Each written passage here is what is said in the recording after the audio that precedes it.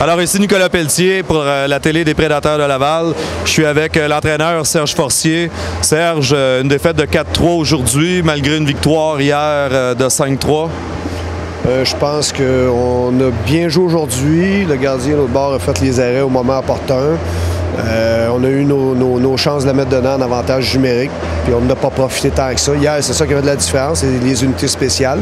Aujourd'hui, on a bien joué même en, en désavantage numérique, mais en power play, on a voulu produire plus que ça. Alors je m'entretiens avec Adam Rousseau à l'issue de la rencontre. Adam, euh, défaite de 4-3. euh, Ah, c'est sûr qu'on a fait des bonnes affaires. On- C'est c'est sûr que c'est jamais, jamais le fun de perdre une game de même, mais c'est une bonne game de hockey des deux côtés. Puis euh, je pense qu'on a, on a montré qu'on avait du caractère pour euh, remonter de 3-0.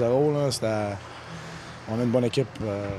Dans un autre ordre d'idée, Adam, tu t'es joint aux Prédateurs euh, dernièrement. J'imagine que pour toi, ça te donne l'occasion euh, d'avoir un poste de régulier puis d'être capable d'œuvrer dans le filet des Prédateurs régulièrement, je dirais. Ouais, mais j'espère. Je, sais, il faut, faut- faut quand même que je travaille pour ma job. là. Guillaume il est là, il est là. Ils sont- on a trois bons goalers, puis euh, je pense qu'avec n'importe qui dans le net, on peut, on, peut- on peut faire des bonnes affaires. Content de te trouver à Laval? Bon, c'est sûr, ça, ça- pour, pour plusieurs raisons, euh, famille, euh, travail, c'est, une bonne gang de gars dans la chambre, c'est, le fun. Tom, merci beaucoup. Merci. Alors, je suis avec Jérémy Janetto pour la télé des Prédateurs. Jérémy, une défaite de 4-3 aujourd'hui, un peu décevant comme résultat. Ouais, écoute, je pense que euh, les gars, à soir, on peut sortir la tête haute de ce game-là. Regarde, euh, ça fait deux matchs qu'on on tire l'arrière 3-0 en partant, puis on revient dans la game.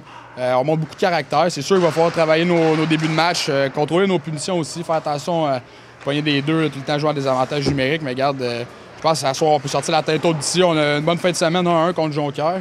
Puis regarde, c'est positif pour le reste de l'année. Un peu euh, surprenant d'écoper d'autant de 10 minutes d'extrême inconduite, d'inconduite de partie. Ouais, ben, je pense que les arbitres ont serré à vis cette année. On peut moins parler, on peut moins ici. C'est correct. Il va falloir s'ajuster euh, à ça. Les gars, on a une équipe avec beaucoup d'émotions dans la chambre. On veut gagner. C'est sûr qu'on va en prendre des fois, mais regarde, ça fait partie de la game. Puis euh, c'est le début de la saison. Fait que je pense juste que on va juste s'améliorer de ce côté-là, puis ça va bien aller. Fait qu'on oublie celle-là, puis on passe à autre chose la semaine prochaine. Ouais, exactement. Deux grosses games en fin de semaine prochaine. On espère que vous allez venir encore en grand nombre comme aujourd'hui. C'était- Il y avait une belle ambiance. Puis regarde, euh, euh, on a une belle fin de semaine en fin de semaine. Puis euh, je pense qu'on a une belle saison qui s'en vient. là. Alors, on vous donne rendez-vous pour le prochain match local des Prédateurs, alors que Saint-Georges sera en visite ici au Colisée Laval la semaine prochaine, le 11 octobre à 16h.